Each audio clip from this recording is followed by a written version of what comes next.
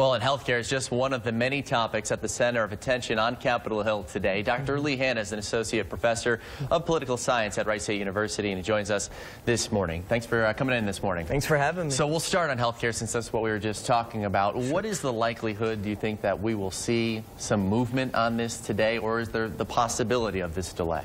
Sure. So it's it's really been moving all week in terms of kind of the count of whether or not the Republicans have the vote to pass. Uh, so we may see a very dramatic uh, afternoon and in, into the night as far as uh, how this bill goes to the floor and whether or not they have the votes. So the number to look for is 218. That's what they need to to pass the bill. And people think there's about 22 or they they if 22 Republicans say right. no, then the then the bill dies. And people think there's about 25 that have reservations with this bill. How much do you think the president needs a win right now with everything that's been going on and been talked about? Obviously investigation. We'll get we'll get to that in just a moment. But the FBI investigation about Russian ties.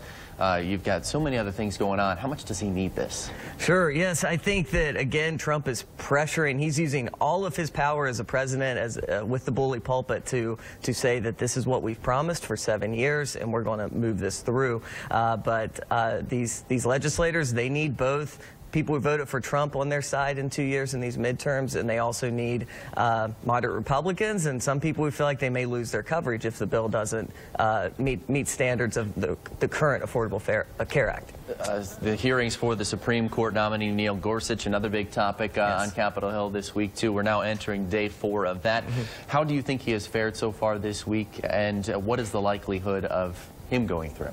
Sure. So I think this is Trump's big win so far. If you look at uh, how he both rolled out the, his selection of Neil mm-hmm. Gorsuch and then how these hearings have gone, I think Republicans are, are thrilled with this pick. Um, but it's it's clouded in all the other you know kind of scandals and issues and debates that we're having about health care and, and other things right now. Uh, you know, I think he's he's going to get through. The the Democrats could filibuster and and try to make the Republicans blink. They're certainly uh, you know frustrated that they never got a, a fair hearing of uh, Merrick Garland. Mm. But more than likely, this is a hold for the Republicans. This is uh, replacing Scalia with Gorsuch, and so I think they're going to let this go in order to fight other fights. And Trump has said in the past, uh, if that filibuster were to happen to he would recommend going nuclear and going the nuclear option. Yes. Uh, let's quickly uh, also touch on just the, the latest on the Russia uh, ties uh, to the Trump administration, the FBI investigation. Obviously, Paul Manafort's been at the center of attention uh, over the last couple of days, too. How damning is this report to the Trump administration?